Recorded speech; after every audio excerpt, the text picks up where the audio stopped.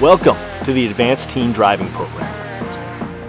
The purpose of this course is to make your child a better, more confident driver, especially in situations that require quick decisions.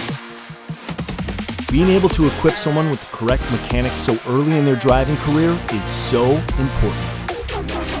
Like if I were to go to a cold place where there's ice, I know how to handle that since I simulated that this morning.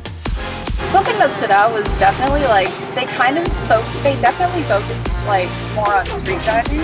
They do bring a lot of racing techniques into it. But now we're going to shift our vision to the space to the right of the third cone and keep your eyes tracking back and forth. Well, I brought both of my daughters here to this course uh, so that they could actually see what the performance of these cars can do in a controlled environment. So all we're doing is managing that weight, that brake pedal a little bit, just to keep extra weight over those front tires to help the front end of the car pivot. That's it. Get your child in this teen defensive driving course today.